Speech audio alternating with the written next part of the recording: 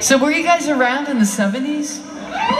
Were you listening to rock and roll in the 70s? Hell, I was around in the 50s. Well, uh, here's a little 70s delightful treat for you. A little deep, deep, deep purple.